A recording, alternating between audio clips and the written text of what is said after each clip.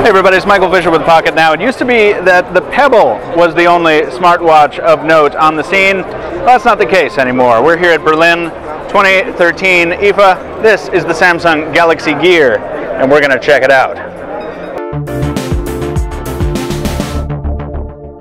So guys, this is the Samsung Galaxy Gear, and one of the first things you'll notice probably on film, uh, first of all, this it might be this glinting stainless steel, which feels really, really nice in person. The second thing you might notice is the thing that kind of we all noticed, uh, was that it looks kind of big.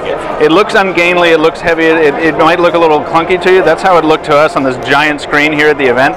But you wear this thing, you get it on your wrist in person, it actually feels quite nice. I don't have the weight off the top of my head, but it is not much heavier on the wrist than the Pebble is and there's that screen pop into life there. This is a, um, I believe it's 320 by 320 display. There's the only button on the device is a side key there you use to wake it up. You have obviously the time. You can double tap the screen with two fingers for a uh, more detailed status of whether Bluetooth is on, your battery level, things like that, the date. And you've got these shortcuts here. Now one of the cool things we'll jump into, uh, this is called the it's not the memo maker. It's the. It's just called the, the, the memographer or the memographer, if you if you will. Uh, and it is just a it's a camera built in here. It's capable of shooting 720 video. It's positioned so that you can you know you have your your wrist here and you're just pointing at stuff. Oh oh cool, what's going on over there? You tap, it adjusts. Well, it's in video mode right now. It'll shoot up to 10 seconds of video, and it will sync to your Galaxy Note 3 or your other Galaxy Samsung Galaxy device. Dump them right to the uh, right to the device. I'm just going to try and get out of the uh, options here. Back is a simple swipe down from the top bezel. Sorry, guys, I'm still learning the interface here. There's a snap. You want to take a still, you just tap, it focuses, and takes the shot. You go back. You can always return to the home screen from the side button here, but the rest of the, the interface is all gesture-based.